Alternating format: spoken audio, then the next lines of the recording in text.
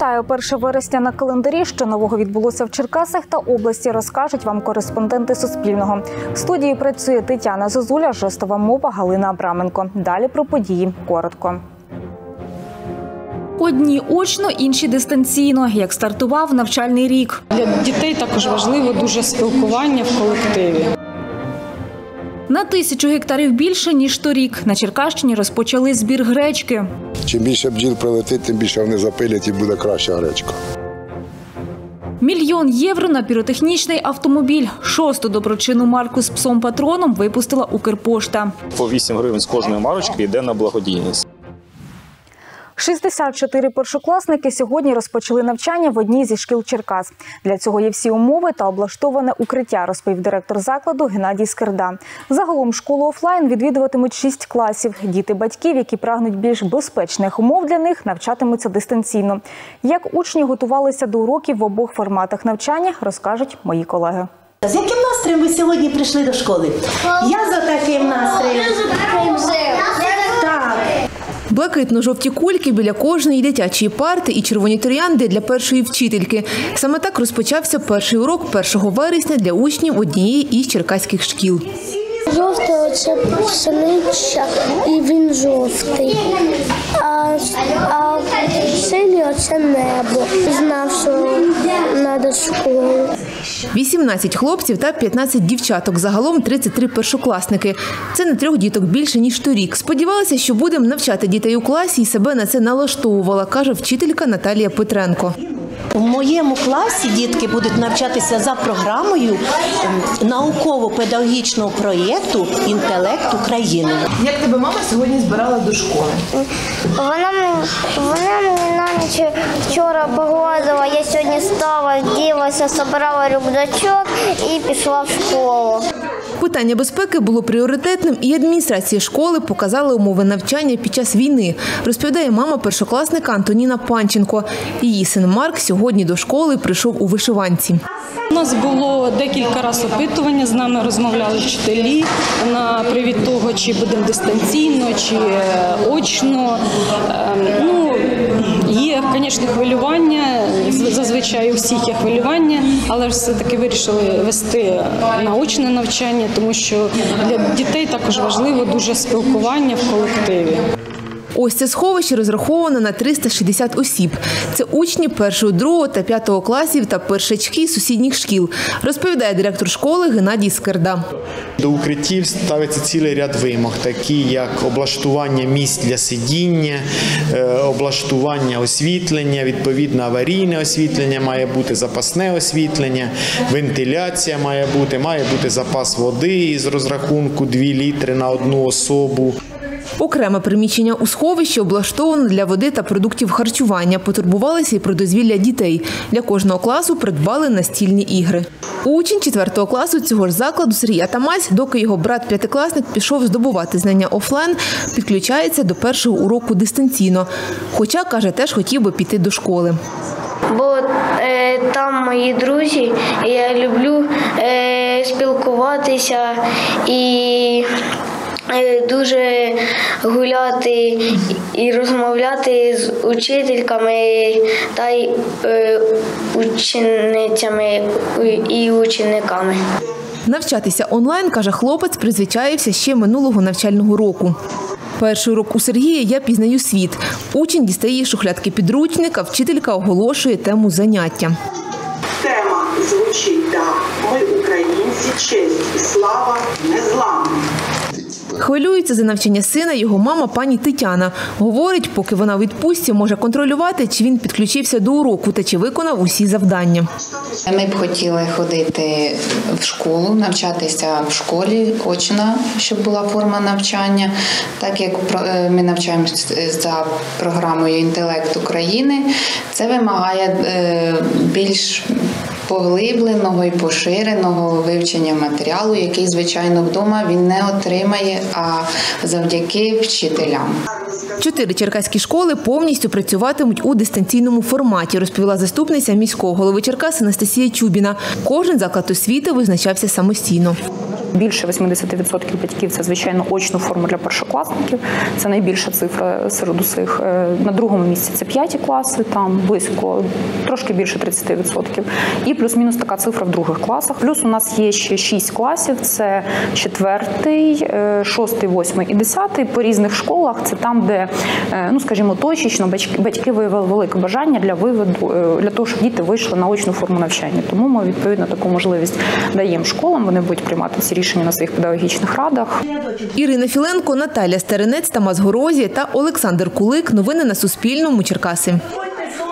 Понад 180 шкіл на Черкащині навчатимуться дистанційно. Решта закладів у змішаному форматі та очно, повідомив очільник області Ігор Табурець. В регіоні 117 тисяч школярів, із них 3 тисячі – це внутрішньо переміщені діти. Він мріяв працювати вчителем у Бердянську на Запоріжчині та через війну переїхав до Черкас. Сюди Владислав Бондаренко евакуювався із родиною і тепер викладатиме фізику та інформатику в одній із міських шкіл. Як прийняли вчителя, Тетяна Рева розкаже.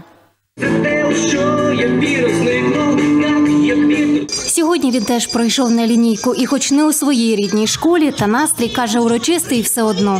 Я відчуваю свято в душі, наче заново родився після того, що було зі мною, коли застала війна в Бердянську. Нині це місто окуповане, і таке свято з українським прапором та піснями там поки неможливе, говорить вчитель Владислав Бондаренко. Моє відчуття було таке, наче кінець світу. Там був жах. В тому Бердянську ракети літають, оці орки, вибачте, їздять по вулицям. Розповідає, хотів з дитинства навчати дітей. У мене мама вчитель, от, і прабабуся вчителькою була початкових класів. От. Ну, якось по рідним стопам, скажімо так. Закінчив Бердянський університет, і це був його перший рік такої омріяної роботи. Більш-менш звик. Мені сподобалось, а після цього вже ж дистанційне пішло навчання. Теж навчився всього. Тепер Владислав звикає до нового шкільного життя. Сподіваюсь, побачить сучасні гарні комп'ютери. Заходить до кабінету фізики. Предмет викладатиме дистанційно. Учнів говорить, ще не знає, втім із вчителями вже познайомився. Як вас прийняли? Гарний у вас педколектив, все добре, буду знайомитись з учнями. Директорка 28-ї школи Тетяна Скорик розповідає, вчитель сподобався одразу. Нині він потрібен, оскільки старших класів побільшало. В співбесіді він мені здався дуже емпатійним, таким завзятим, який хоче працювати. Він ще буде продовжувати навчатися в магістратурі. Я думаю, що якщо він тут залишиться, то ми будемо тримати його ну як тільки зможемо, тому що чоловічої статі в наших школах дуже мало. І хоч школа більша в рази за Бердянську, і техніка сучасна та й класні кімнати новіші, каже вчитель, все ж сумує за рідним містом. Ну, Це місто мого серця. Найбільше говорить тривожно за учнів, які залишилися в окупації. Я навіть не знаю, з чим можна зрівняти ті умови, в яких вони знаходяться. Там я хочу знову працювати, побачити своїх дітей, своїх викладачів університету і відсвяткувати нашу перемогу. Тетяна Рива, Олег Кураш. Новини на Суспільному. Черкаси. На Черкащині розпочали збір гречки. Цьогоріч її посіяли на тисячу гектарів більше ніж торік, розповіла начальниця відділу організації виробництва Валентина Сокирко. На сьогодні вже зібрано 8% площі. Найбільше засадили у Золотоніському та Уменському районах. Як готуються до збору в одному з фермерських господарств та якого врожаю очікують детальніше у сюжеті. Голова фермерського господарства Віктор Гарагай показує залишки минулорічного врожаю сої. Класно, сухенько, все. Значить, прошлий рік. Нині її продають та вивозять, аби звільнити місце для нового врожаю. Пшеницю ще якось не рішили, а сою вивозимо, бо треба освобождати площі. А так, то працюємо, на, вже заготовки йдуть на посівну, на слідчий. На складі вже лежить новий збір пшениці. Цього року погодні умови вплинули на якість зерна, та й логістика через війну змінилася, каже чоловік. Логістика, що забирає практично е, третю частину стоїності нашого збіжжя. Ну, якщо взяти по цій собівартості гектара по цьому році, то і по врожайності, то ми зараз ну, хоча б вийшли на нуль. При цій ціновій політиці, яка зараз є на даний час. 11 років працює у фермерському господарстві Ольга Дофановська. Каже, жнива тяжка робота, проте важлива. У нас сьогодні йдуть погрузки, вигрузки, уборки. Працюємо. Зернові відпрацювали, осталося соя, соняшник, гречка, кукуруза. Ще роботи багато. Техніка, слава Богу, з- літа підготовлена ж- до жнив. Зачистка, перелаштування і в бой. Нині фермерське господарство готується до збору гречки. За декілька днів, розповідає пан Віктор, розпочнуть жнивну компанію тієї, що садили на початку червня. Якщо взяти отак, то вже е, практично ми маємо те зерно, яке можна, будемо сказати, вже пускати на переробку. Якість непогана, рижого мало, чорного багато. Частину гречки посадили в липні, тому збирати її почнуть із середини вересня. Ну, от зав'язь вже в принципі є. А чорненьку, а ось і чорненька вже є. Це все з квітки, виходить, спочатку така, вона потім вона при созріванні стає така коричнева. Загалом цьогоріч посадили 43 гектари поживної гречки. Врожайність залежить від погодних умов, додає пан Віктор. Все залежить від погодні умови і як летітимуть сюди бджоли. Чим більше бджіл прилетить, тим більше вони запилять і буде краща гречка. Е, і щоб дійшли, бо благоприятні були умови, мається від дощі, волога, тумани, оце вона любить. Але вона родить раз у 5 років. То може це ми попали у цей е, п'ятий рік. Ну, я думаю, десь за дві тони перевалимо. Якщо дасть три, то це взагалі буде супер. Робили ставку на продовольчі культури через війну, тому продавати її планують на українському ринку. Ми не гонимося за такими великими там прибутками, бо головне результат.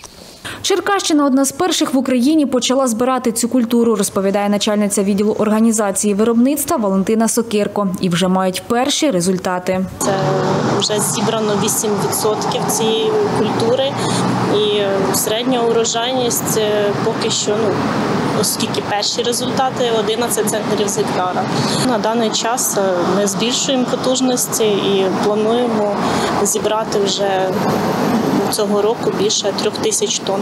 Ми е, намагалися е, орієнтувати аграрія саме на крупні культури, на збільшення цієї ніші. Тетяна Зазуля, Сергій Єфімов. Новини на Суспільному. Черкащина. Марку з псом патроном випустила Укрпошта. Аркуш із восьми поштових знаків, на кожному з яких зображений епізод із життя відомого пса-розмінувальника, виконаний на самокликому папері. Під час продажу цього випуску хочуть зібрати понад мільйон євро на піротехнічний автомобіль для рятувальників, розповів керівник Черкаського відділення Укрпошти Олександр Марченко. Хто гасив шосту військову марку, бачила Вікторія Будавіцька. Цей 10. А марка з чим то, ну, в общем, вийшло на 300 рублів. Тут ще марка є. Оце марка Патрона. То вона сама дорога. Це. Ці конверти з марками черкасець Валерій Бур'ян придбав вранці на пошті. Тепер, говорить, має весь набір української військової філателії. Ними доповнить свою колекцію марок, які збирав з юнацтва. Є польське, є китайське, Мао Цзедун, ну і совєтське. Кубінське є цілі блоки, альбоми цілі кубінського. Там, там їх гарні йдуть. Птівці і цвіти. Шоста марка, випущена за час повномасштабного вторгнення, стала першою доброчинною, розповідає керівник Черкаського відділення Укрпошти Олександр Марченко. З тиражу в мільйон екземплярів хочуть виручити мільйон євро, які передадуть рятувальникам для придбання піротехнічної машини. Вартість поштового блоку, на якому 8 марок, е, 248 гривень, де по 8 гривень з кожної марочки йде на благодійність. Тобто вартість самої окремо одної марки 23 гривні це вартість послуг звичайного листа по Україні. Зі слів речниці головного управління Держслужби з надзвичайних ситуацій області Юлії Норовкової, спецзасоби для розмінування та піротехнічні машини українські рятувальники використовують щодня. Ми зараз дуже потребуємо наші піротехніки для виконання е, службових завдань е, у областях, де тривають активні бойові дії. Тому що, оскільки ми знаємо, за підрахунками вже е, розміновування території України займе не один і не два роки. Презентацію та гасіння марки провели поблизу однієї з рятувальних частин Черкас. На шести поштових знаках зображені епізоди з життя пса патрона, де він розміновує поля, узбережжя моря, шукає гранати в іграшках. Ще на двох фото самого патрона. Оскільки сам патрон не зміг приїхати сьогодні у Черкаси, до нас доєдналися його колеги, е, службові собаки з Держприкордонслужби. Е, Вони разом з нами здійснять погашення марки. П'ятирічний Дік має чималий досвід у затриманні порушників кордону, розповідає кінолог Олександр Солдаткін. Каже, скільки саме їх затримав, інформація службова. А ось умовних порушників пес затримує до трьох осіб на щоденних тренуваннях. розшукує людину по її запаховому сліду. Він їздить постійно по відрядження на кордон, найбільш е, ділянки, які знаходяться під певним контролем. Під- По-новому ми їздили тільки Чорнобильську зону, їздили на, на Західну Україну. І е, на, на схід ще не їздили. Саме Дік сьогодні погасив марку із зображенням свого колеги. Трирічну Лесі також привезли на презентацію марки з патроном. Аби бельгійська вівчарка продемонструвала свої здібності в розшуку, розповідає кінолог Держприкордонслужби Дмитро Медведєв. Лесі дадуть понюхати подушечку, цю, виходить, з маркою або саму марку. Потім вона її розіграють м'ячиком, який вона любить. І ну, почнемо на пошук. Зі слів керівника Черкаського відділення Укрпошти Олександра Марченка, частину виручених грошей спрямують на придбання корму для собак у притулках. Вікторія Будовіцька, Федір Коцаба. Новини на Суспільному. Черкаси. Показові годівлі, аби зібрати гроші на зимівлю тварин. Відтепер відвідувачі Черкаського зоопарку по буднях можуть спостерігати, як там ласують вихованців. Таку акцію започаткували тиждень тому і мають чимало позитивних відгуків, каже директор зоопарку Євгеній Іван. Чим частують тварин та про враження гостей, дивіться далі. Річкові витри визирають, чекаючи на свій сніданок. У таку пору вони ласують ситно, каже зоолог Максим Григор'єв. Так, це серце ялове е, для годівля для двох е, видр. Свою поживу вихоплюють із рук годувальника та тікають до нірок. Ведмеді ж, зачувши смачненьке, вилазять із барлогів. Але по графіку годівля тамаринів. У них на сніданок сьогодні переплені яйця, е, творог, банани, фрукти, ну, фруктова овочева нарізка. Мавпи не стримують свого захвату від раціону і вкотре просять добавки. Дехто трапезує прямо з тарілки. Але мури із фруктового салату вибирають яблука.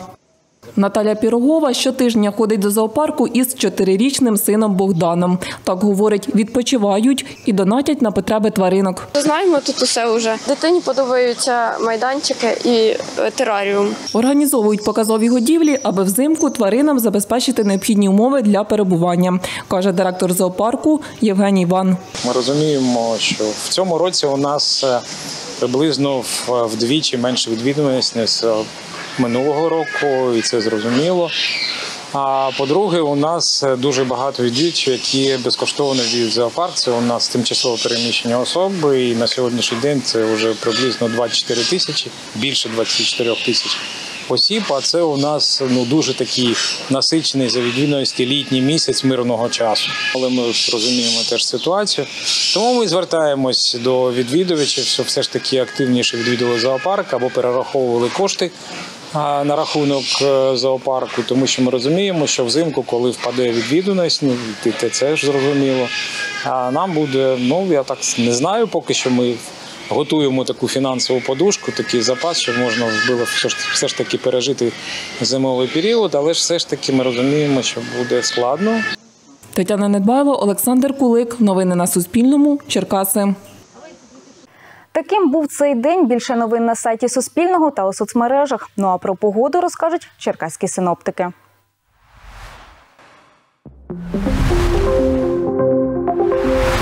За прогнозом черкаських синоптиків, завтра по Черкаській області невелика хмарність без опадів. Вітер північний 5-10 метрів за секунду. Температура вночі 8-13, вдень 18-23.